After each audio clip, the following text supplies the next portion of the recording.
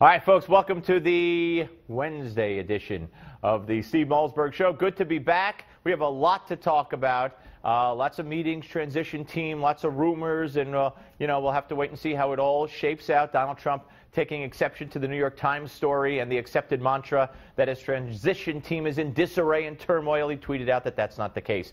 I want to concentrate right now on what they're doing to Stephen Bannon uh, of Breitbart, formerly of Breitbart. I don't know if he's still uh, heading Breitbart or not, but of course he's the uh, chief counsel to the president-elect and will be to President Donald Trump. They're making him into, or trying to, a racist, a bigot, a homophobe, an anti-Semite, you name it, and it's baloney. It's all baloney. Let's put this up. This is their primary thing here. This is why they say he's an anti-Semite. Bill Kristol, Republican spoiler, renegade Jew. Now let's look at the next one. You know who wrote this? David Horowitz, a Jew. David Horowitz wrote this piece, a, a staunch supporter of Israel, a, a devout Jew wrote this piece. We're going to talk to David in just a few minutes. Nobody else has talked to him about this. Dispelling all notions, folks, that Breitbart, uh, that, um, that um, Steve at Breitbart is, is an anti-Semite or any of the other things they're saying. But the media, they're, got, they're nuts. The, the media has gone nuts. Listen to Harry Reid. If Trump is serious about seeking unity, the first thing he should do is rescind his appointment with Steve Bannon. Rescind it. Don't do it. Think about this. Don't do it. As long as a champion of racial division is a step away from the Oval Office, it will be impossible to take Trump's efforts to heal the nation seriously. A champion of racial division. Where is their evidence? What is it based on? What the heck are they talking about? They have no evidence. They hold up that headline, Renegade Jew. it's insane. They don't tell you what the story's about. David will tell you in a second. Then there's more. Then you go to the Gals of the View. Now, if you want an educated opinion, you don't go to the Gals of the View, but we went there. Watch.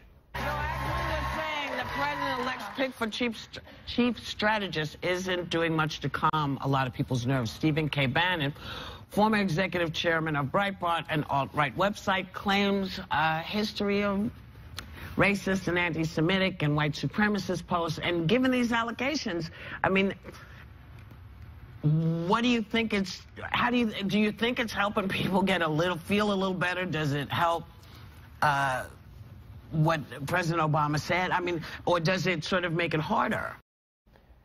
Again, why don't you show me evidence of white nationalists, racist, bigoted, blah, blah, blah. They don't exist. This is insanity. This is taking a human being, this is taking a person and sliming him and targeting him and trying to destroy him. He will not be destroyed. He will thrive. He will thrive in spite of and in a way because of these creeps, these libelous creeps who spew lies about him. And it can happen to any of us. I've had it done to me. I have so many letters on me that I wear as a proud badge, uh, badges of courage. H for homophobe, R for racist, uh, Z for Z, X for xenophobe. I, I wear them proudly because the left are out of their minds. And then there's, well, you talk about out of her mind, whatever she has left of her mind, Joy Behar. You keep hearing is that the country is divided, and then he picks one of the most divisive people in the country. You know, that that's what's bizarre about it. Yeah. Pick somebody who's a uniter. Well, it would be nice to have a, a, a, counterpart to Reince Priebus, who is a little maybe more moderate than Reince Priebus, as opposed, moderate. as opposed to somebody who represents the alt-right, who has on his website headlines like this, Bill Kristol, Republican spoiler, renegade Jew. Why does he have to say that Bill Kristol is a Jew? What does that got to do with anything? If this brain-dead person would read the piece, she would know exactly what it has to do with it. And David Horowitz, who wrote the piece, will explain in just a minute now. I want you to hear, though, somebody who I don't understand anymore.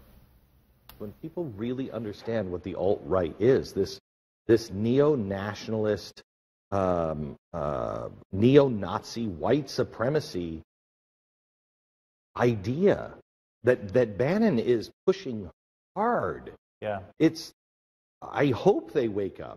Because if not, we are racist. If that's what we accept and we know it, then we are racist. By the way, uh, Glenn Beck might be interested to know that uh, according to reports, uh, they're going after The Blaze, his website, along with Breitbart and others, for being uh, false news sites, and they're going to try to cut off uh, your ability to advertise. So you better watch when you jump on the bandwagon against people, because that bandwagon could include you, uh, Glenn Beck. Now, uh, before we go to David Horowitz, I want you to play that little bit of, of uh, Joy Behar holding up the, the piece that he wrote, that she doesn't say he wrote. I mean, this is this is insanity. So let's let's let's hold it up. And uh, I want you to hear what she said again, and then we're going to talk about all of it with the man who wrote the piece exclusively here. Coming next, David Horowitz. To somebody who represents the alt right, who has on his website headlines like this Bill Kristol, Republican spoiler, renegade Jew. Why does he have to say that Bill Kristol is a Jew? What does that got to do with anything? As I said, she is a brain dead robot. Anything the left feeds her, she'll repeat. Uh, joining us now is the man who wrote that piece, David Horowitz, founder of the David Horowitz Freedom Center, editor of Front Page Magazine, and author of Progressive Racism. And there's the book on your TV screen. David, welcome. I want to put up uh, the headline uh, that they're showing around. She didn't show it, but she said it. Here's the headline from that piece on Breitbart. Bill Kristol, Republican spoiler, renegade Jew. And here's what they never say and never show you. Let's put up the next one by David Horowitz, and this was from May of 2016. You wrote the piece, you wrote the headline, you're Jewish, you're a staunch Jewish supporter. I mean, and they make it seem like this is an anti Semitic rag piece. No, I, it wasn't even uh, solicited from me. I, I, didn't get paid for it. This is my piece. Uh, Joy Behar is a blithering idiot. And if she wants to uh, you know, see a fascist, she should just look in the mirror. Uh, here is, is why she can't even understand what I was writing about. Hillary Clinton and uh, Barack Obama gave nuclear weapons to a regime in Iran that not only wants to destroy the United States, where we're big enough probably to take care of ourselves, but wants to nuke Israel and kill all the Jews there. And that's what they say. And Bill Kristol, by throwing his weight behind the Democrats who have put Israel in the woodshed uh, and who have given nuclear weapons to Iran, had betrayed the Jews. He is a renegade Jew.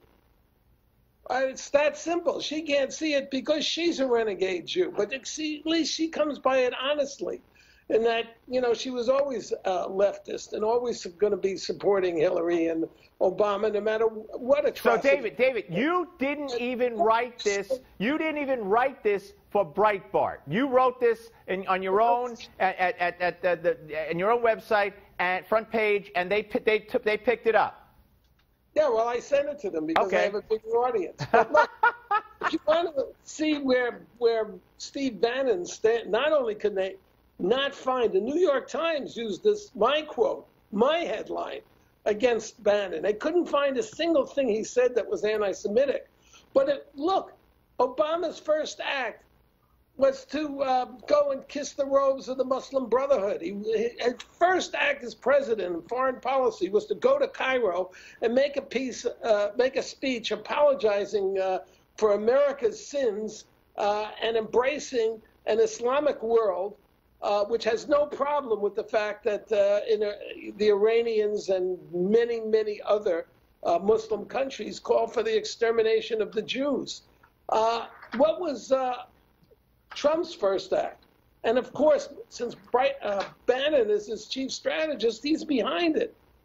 His first act is to reach out to Benjamin Netanyahu, take him out of the woodshed, and call Israel a beacon of hope. Every Jew should celebrate the fact that Trump is president and not Hillary, who would stick the knife. A- absolutely. Absolutely, but people like Behar and the left, they despise they despise Netanyahu as much as they despise Bannon and, and Trump. Let me ask you, what what have, I never heard of the alt right until this this election uh, and re, and late in the election. Am I just ignorant? I mean, uh, and and, and accusing nothing. I mean, the alt right actually, um, I forget the guy who invented it, invented the name alt right. It's just everybody who's not establishment Republican. And, you know, of course, in the nether regions, there's going to be, there are some anti Semites and so forth. But Joy Behar and her friends are about to uh, uh, make Keith Ellison a raving, Jew hating, white hating, Farrakhanite racist Muslim as the DNC chairman. They don't see any contradiction in that. The, yeah. the locus of anti Semitism in America is the political left. On the campuses, harassing Jewish students, uh, attacking Israel, lying, you know, conducting Hamas propaganda. I, I, w- I will tell you, what we are witnessing here is the biggest witch hunt in American history. This witch hunt of, of Steve Bannon and anybody uh, really who supports Trump. You know, Joe McCarthy, first of all, there were communists and they were all working for the Soviet enemy. And his sin, and he did have sins, Joe McCarthy, was that he exaggerated. Uh, for example, Owen Lattimore was a sympathizer of uh, Mao Zedong and the Chinese communists. He was a fellow traveler. But McCarthy called him the chief Soviet agent in America, which was false. Um, this Bannon thing is completely invented, totally out of whole cloth. It's just a bunch of sore losers who want to tar and feather, stigmatize uh, the Trump administration, and will fight it every step of the way. Never give it a ch- never look at its actual programs or what it's actually doing, as in this case, supporting Israel and the Jews. Yeah, uh, you know what, David? I'm, I'm sure you've been inundated with calls since you wrote that piece from CBS, NBC, ABC, and all the rest of them to uh, to talk about the uh, the piece that you wrote that they hold up as an example of anti-Semitism by by by Steve Bannon. And of course, the answer is uh, nobody has any interest in speaking to you. Not one. Yeah, it's sad. David, no. God bless you, my friend. I'm glad you're well. We'll speak to you soon, and thank you for coming on. All right, Steve. Thank you. Take care. The great David Horowitz, ladies and gentlemen. I tell you, it's totally insane. Uh, up next, Newsmax TV political analyst Dick Morris We'll talk Trump's cabinet picks and more. Don't go away.